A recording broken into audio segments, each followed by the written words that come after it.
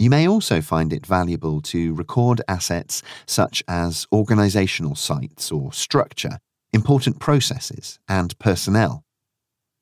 To cover all physical and intangible information, talk to people from different departments.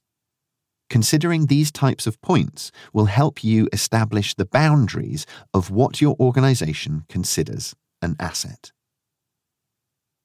Characteristics to log.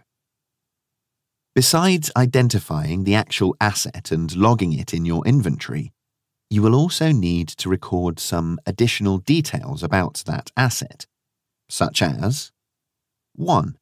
Asset owner.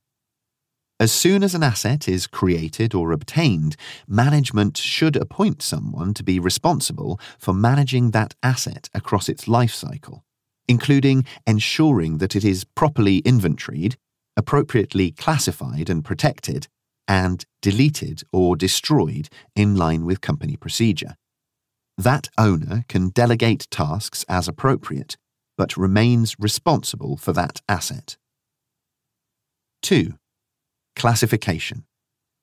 This reflects the sensitivity or importance of the information.